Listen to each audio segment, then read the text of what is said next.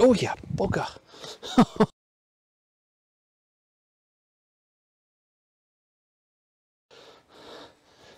okay, I'm out again photographing the wildflowers. I noticed when I come to the Bluebell Wood, which I'm at now, um, two weeks ago, I noticed there was a patch of wild garlic at the bottom of the hill. So I've come back today to photograph them. Now they're not quite fully blossomed, um, which I'm a little bit gutted about to be honest with you. There's not a, there's not a, a large amount, there's a little pockets and patches. So what I'm thinking of is get really detailed into the image.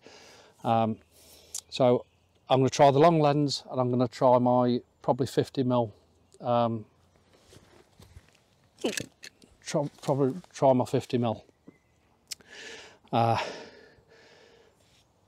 uh, vintage lens.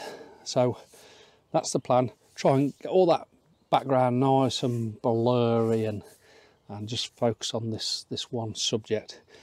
Now, so I'm trying to pick one nice flower out and get a nice coloured background. So what I've done is is come to this area here where it's got some bluebells behind it.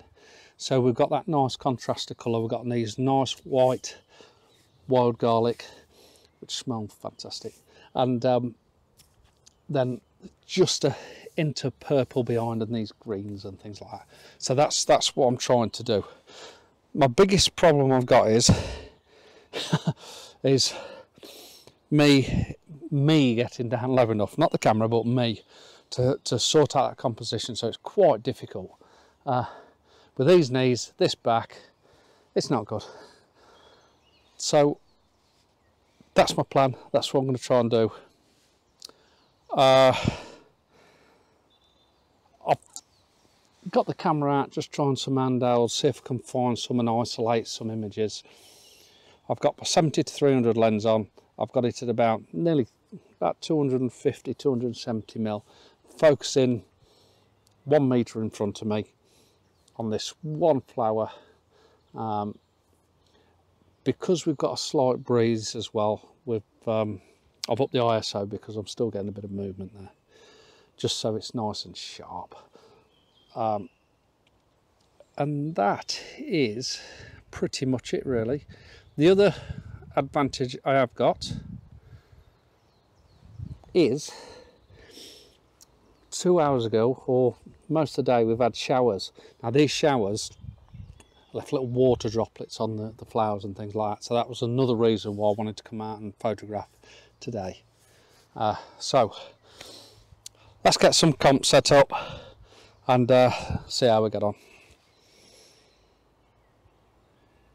This first composition is of this one garlic flower quite tall taller than the others leaning over from from left to right the only thing I'm not sure is it's got a dead leaf on it and I'm not sure whether to pick the leaf off or not.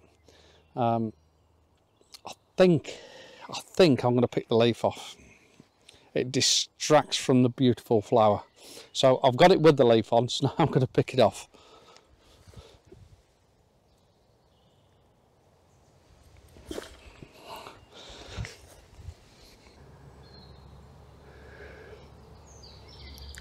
and I think it's going to look better in a portrait shot.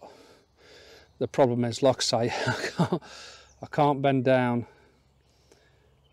to have a look at the portrait shot and this won't articulate um, the other way.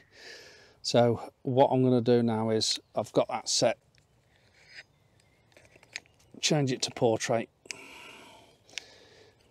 because I'm quite confident it'll look better in portrait. That actually looks really nice.